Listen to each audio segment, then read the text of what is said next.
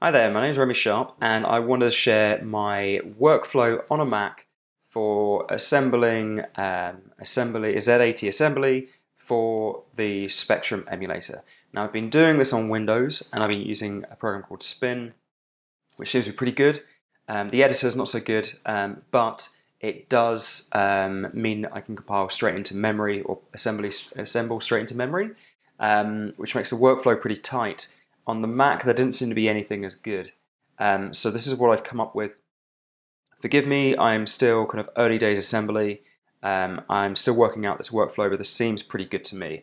Now, um, I'll include links to everything, uh, all the programs I refer to. Um, I'm using uh, Visual Studio Code here, um, and I have the uh, Z80 um, uh, language uh, included. It doesn't have any doesn't have any IntelliSense, um, but it does have syntax highlighting for the instruction sets and comments and so on. Um, I have included an editor config and I have a plugin in VS Code that follows that, uh, which is telling it to use tabs and uh, 8 uh, width tabs so that I get this decent alignment when I'm using labels. Um, and once I finish writing my assembly file, I have a make file to do the uh, compiling. So um, what the make file is, the make file is trying to compile this connect4.tap. So I do need one per project at the moment, but I'm sure I can work out a way of uh, streamlining that. So it'll try and make the uh, connect4 ROM file based on um, this directive, I guess. Um, and um, I'm using this program, this assembler called uh, uh, ZASM, uh, passing in the Z80 flags that uses that instruction set and giving it the file name. And this will generate the .rom file. Um, I'm just cleaning up the tap file and I'm using another program called uh, MCTRD which will create a tape file which is compatible with Fuse or uh, in fact any um, emulator as far as I know. So we uh, create a new empty file and then we add the ROM file into the tape.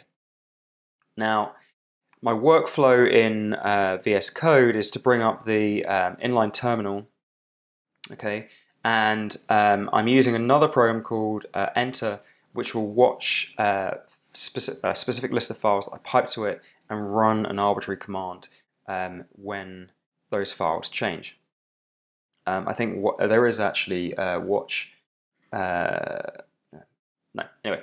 Um, so again, I'll include all links to these programs. Um, so here I'm piping uh, the file name um, connect4 to entr, and if I run it, there's nothing to be done. But let's change the uh, the title to uh, capital connect 4, I'm hitting save, and it recompile the tap file.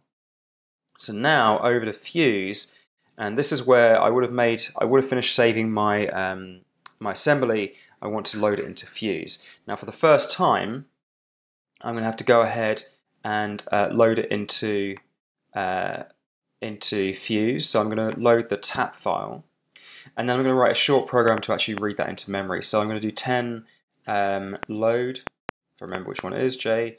Um, I don't know why empty quotes. And then I'm going to go into the extended keyboard, which is Control Shift, and then I need code, which is I, um, and then 50,000. And 50,000 is referencing uh, this uh, number here, which is where I've organized the assembly to start running from. And then I'm going to do 20 uh, clear, 30 randomize, back into the extended keyboard, so Control Shift, and then USR or user 50,000 and then we're ready to run. Um, so this is running it for the first time. If I want to make a change, um, I have to reopen the entire tap file. So let's go ahead and make it all uh, capitalized here. So I'm just hitting save. It's recompiled. Um, I'm just going to do Command O, grab that tap file, and then run, and that is how to completely flush the memory and get it working again. So the actual workflow is just uh, Command S to save the assembly, Command O to reopen the file. Um, I'll possibly throw away the um, the ROM file because it'll just mean I can get to the tap file faster, hit enter and then run. So it's a few key strokes together, um, but I can't see another way of getting it into memory faster. Um, but hopefully that's useful to anyone else out there doing the same kind of thing as me.